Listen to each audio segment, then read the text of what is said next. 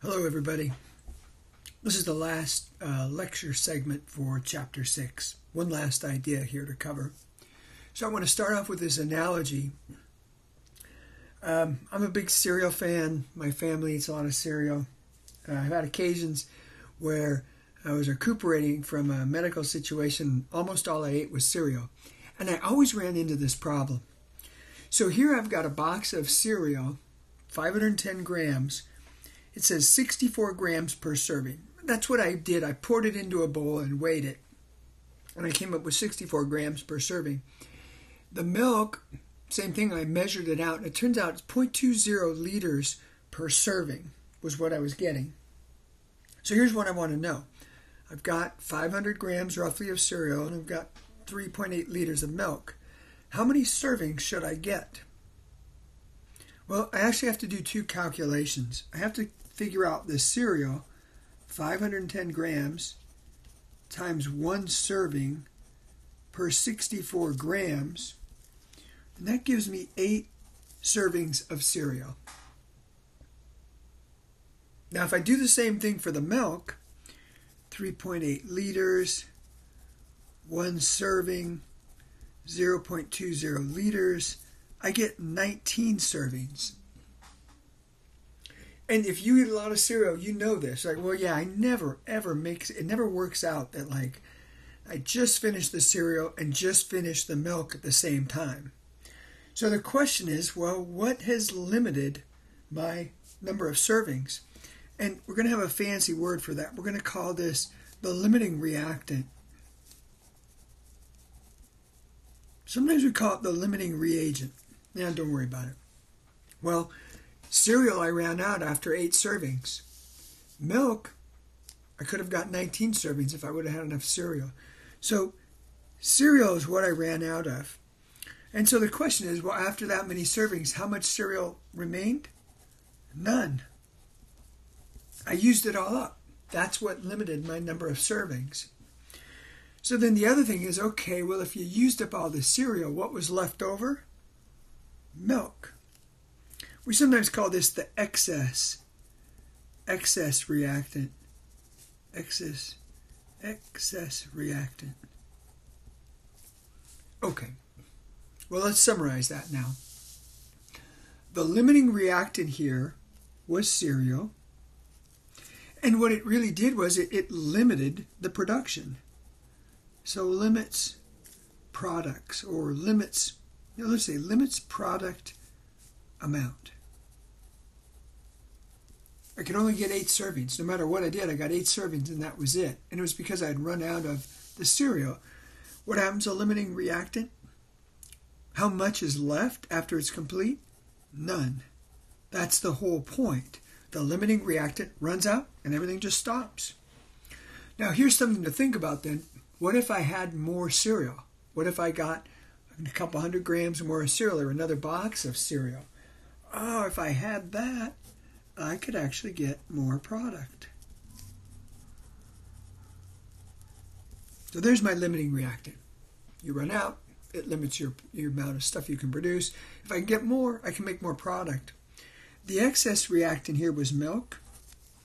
Was there any left over? Yes.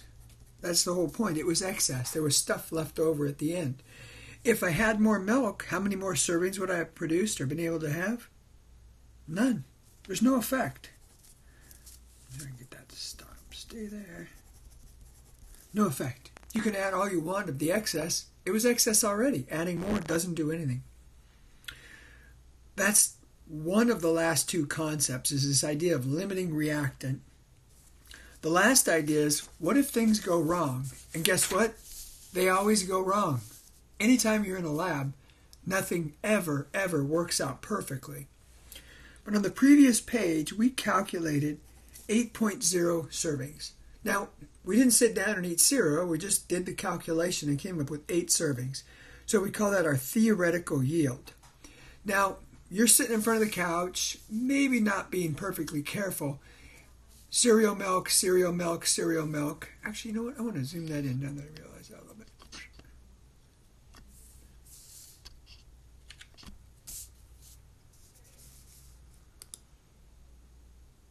Sorry, I just realized I could hit the pause button. I'm getting more professional every day. I think I have about 27 million hits on YouTube right now. Okay, so you're sitting on the couch watching reruns of My Name is Earl. A pretty funny show, by the way. Uh, and you're pouring milk and cereal, milk and cereal, and you get five bowls, six bowls. You start to pour a seventh bowl, and you only get half a bowl. You go, wait a minute. I only got 6.5 servings out of this thing. I expected eight, but I only got 6.5. Well, so did you get 100%? No. And you never ever do. It never works out perfectly like that for some reasons we'll see in some other chapters. So, how are we going to express that? How are we going to say, well, I didn't get eight, I only got six and a half? Well, we're going to do it like this. We're going to put the 6.5 on top, the 8.0 on the bottom, and convert it to a percentage. When I do that, I get 81%. So what we would say is, well, I had the milk and cereal. I expected eight bowl, eight servings, but I only got 81% of what I expected. Now, we can formally we say it like this.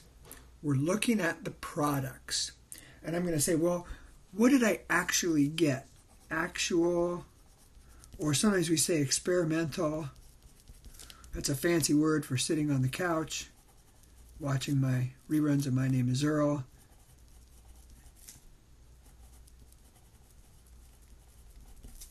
When I went into a lab where I sat on the couch, that's what I actually got. Well, I only got six and a half. And we divide that by what we would have predicted or calculated. Predicted, calculated amount. Now, the amount means it could be grams, could be moles, could be liters, could be anything I want. Just doesn't matter what it is. I have an amount that I actually got and an amount that I expected from calculations. There are the two ideas for the rest of this chapter. If you stop the video, you can probably do everything you need to do now.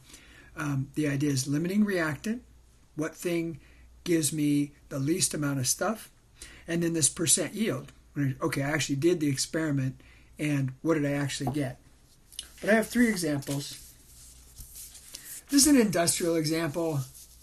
Jess Vickery, my good friend and outstanding teacher, he said, you know, you shouldn't do that, but he feels he thinks, uh, well, maybe you should use smaller quantities. Okay, I'm doing an industrial. 25 kilograms, 25,000 grams of nitrogen reacts with 5,000 grams of hydrogen. And you might want to stop the video if you're still struggling with that kilo business and think, how did he say 25,000? How did he say 5,000? reacts to produce uh, ammonia, NH3. And I got 4.97 kilograms of ammonia, 4,970 grams. To make our lives easier, I've given you molar masses right there. And the first thing he says, well, what's the limiting reactant? Well, here's what I have to do I have to check the nitrogen and the hydrogen. The same way I had to check the cereal and the milk. So I'm going to do a little calculation. Nitrogen, I'm going to start off with 25,000 grams of nitrogen, and I want to know grams of NH3. I'm going to do the same thing here 5,000 grams of hydrogen, grams NH3. Whichever one's the less is my limiting reactant. So let's try this dimensional analysis thing, something something new here. Now there's multiple ways to do this as always, but right away my hint is well, grams of N2 I'd like to get rid of. Well, the only real ratio I have to that is moles of N2. So those grams would cancel. And I said, well, I'm trying to get to NH3. I got to cancel the moles of N2. Do I have a ratio of moles of NH3 to moles of N2? I sure do. Right here. Those equations we balanced in chapter, did we do that in 5? We did it in chapter 5. That's, remember, my mole recipe. So, oh, wait a minute. Moles NH3. There's that. So grams of N2 have canceled. Moles of N2 have canceled. Oh, I got to get rid of moles NH3. And the only thing I have a ratio is grams NH3. So I'm going to plug in those numbers. Let's see, one mole. I've got it up there at the top of the page, 28.01. The ratio here is I get 2 moles of NH3 for every 1 mole from the chemical reaction equation. And here I've got 17.03 roughly to 1. And don't sweat it if the last digit, 28.02 or 3 or 0 or 17.04 or 17. That doesn't make any difference. That's just depending on which periodic table you use. Now, when I do that calculation, I get 30,400 grams of ammonia. I want to do the same thing for hydrogen. You might stop the video and see if you can do this. I'm going to go through kind of quickly. Grams H2, moles H2. Moles H2, moles NH3. Mole NH3, grams NH3. Now all I have to do, I know those ratios will get me through. So I go, well, for every gram, 2.016, 2 moles of NH3 for every 3 moles of H2, 17.01 for every 1. And when I do that, I get 28,200 grams. So, what's my production limit? 28,200 grams. What limited that? What limited me to the 28,000? The hydrogen. If I had nit- nitrogen, I could make more. Remember, it's like if I had milk, I could get 19 servings. If I had cereal, I could only get 8 servings. Oh, there's my limit. So what's limiting is my H2. Well, the other one must be the stuff that's left over. N2. All right. Stop the video, look through that. That makes sense. Go back and look at the other page. Uh, let's do a couple examples. Now, well, let's finish this one up actually.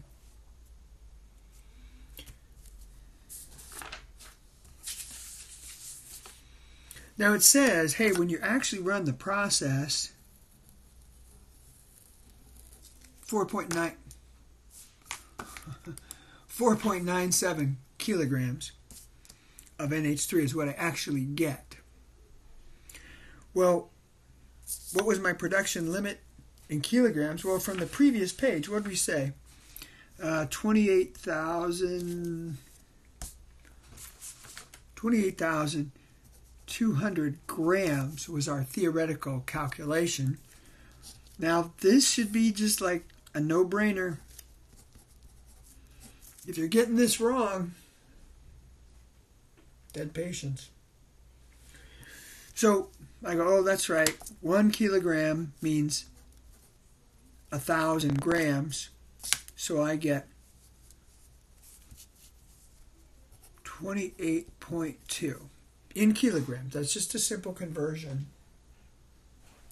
Well, percent yield, what I actually produced 4.97 kilograms. I expected, calculated, predicted 28.2 kilograms. That's what I get the experiment. That's what I expected. It gives me a 17.6% yield. It sounds kind of low, but actually that's typical. Ammonia is tricky to produce. There are a lot of industrial reactions where your yield might only be 10 or 20 or 30%. So we make up for it with some tricks we'll see in chapter 9 and make up for it sometimes by just pumping lots and lots and lots of the limiting reactant. All right, last two pages. 6.17.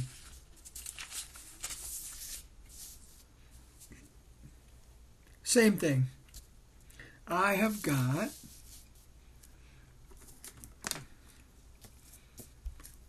nineteen point four grams that stuff. I've got 50.0 grams of HCl, and I want to know what my theoretical yield is. This is just on paper. We're just going to do the calculations and see what we get. So same the way we had to do the cereal and the milk, we're going to do this uh, uh, ethylene and hydrogen chloride. I'm just have to do both of those. You might stop the video, see if you can do those calculations. I'm going to go 19.4 grams C2H4. I'm cheating there a little bit. You might stop and think, well, wait, how did he do that? Gram C2H2 mole C2H2 moles C2H5Cl. Again, you might want to stop the video and say, wait, how did he how did he do that? Per mole C2H4. Let me correct that. Sorry. I should Okay. And let's see. I'm going to go grams C2H5Cl per mole. C2H5Cl. Plug in the numbers. I've given to you up there, so you don't have to waste a bunch of time doing this. 28.0. Nice balanced chemical equation. All I had to do is one to one. Got that up there, 64.5 for one mole. And I get, check my math, 44.7 grams C2H5Cl. It's purely theoretical. That might be cereal, that might be my milk. I'm going to do this one. 50 grams H2. And again, I encourage you to stop the video and go, oh yeah, what pieces would I put in there? Grams H2, mole of H2, mole C2H5Cl, mole H2. And again, this isn't the only way to do it. You can do this five, six different ways, but and I go here, mole C2H5Cl grams C2H5Cl. Plug in the numbers. H2, nice work. How about HCl? HCl, HCl, HCl, HCl. Now, if I plug in numbers, I'll do this in blue. Uh, 36.5 to 1 to 1.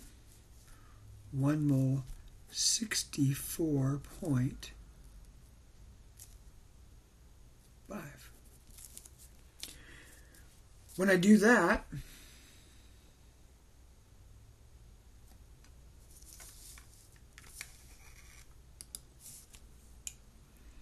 When I do that, I get 88.4 grams C2H5Cl.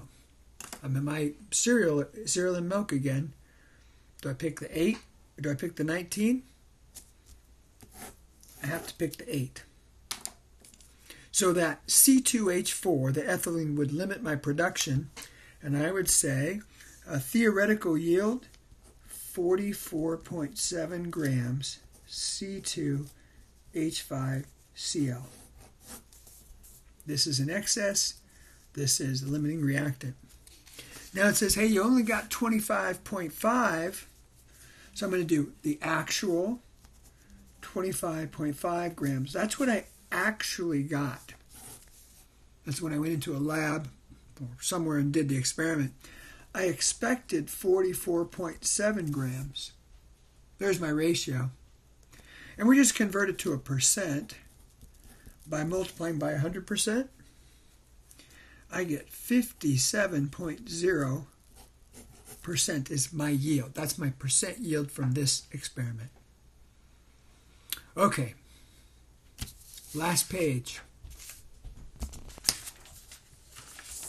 Now this is a little backwards, but all the relationships are the same. It says I'm reacting ethylene oxide with water to give me this ethylene glycol. Now here it says your yield is 96%. That's pretty good. Now it says you're going to use 35 grams of ethylene oxide, so 35.0 grams of that stuff. And it says excess water, meaning that's the not the limiting reactant. That's the excess reactant. It doesn't matter how much you've got. You've got more than enough. So, 96% yield. So I'm going to think, okay, wait a minute now. It says how many how many grams are actually formed? So I might think, okay, I want to I've got to figure actual grams divided by calculated grams. I actually got 35 grams. Well, I need to calculate what I expected, multiply that by 100%, and now they've given us 96.0%.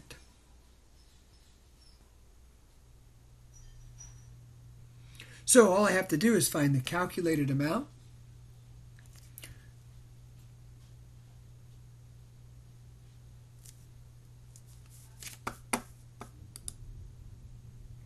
So I'm going to find the calculated amount by our regular stoichiometry calculation.